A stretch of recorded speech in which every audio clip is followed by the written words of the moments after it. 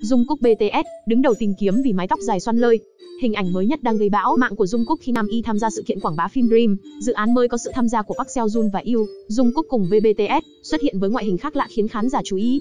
Trong lần xuất hiện này, Dung Cúc trở thành tâm điểm với mái tóc dài gần chạm vai và được uốn xoăn lơi. Nam ca sĩ tỏ ra ngượng ngùng trước ống kính cánh săn ảnh. Dung Cúc đã nuôi tóc dài được hơn một năm. Anh bắt đầu xuất hiện với mái tóc bồng bềnh kể từ sự kiện Z to căm, lễ khai mạc World Cup 2022. Lúc đó, mái tóc của Dung Cúc được cắt theo dáng mullet. Đa số cho rằng năm 2022, vẻ ngoài của Jungkook có phần chín chắn, trưởng thành hơn với mái tóc được nuôi dài. Tới năm 2023, khi mái tóc dài gần chạm vai, vẻ ngoài của Jungkook được cho là trở nên bụi bặm. Hiện tại, từ khóa mái tóc của Jungkook đứng thứ 16 trong danh sách tìm kiếm trên mạng xã hội ở Trung Quốc.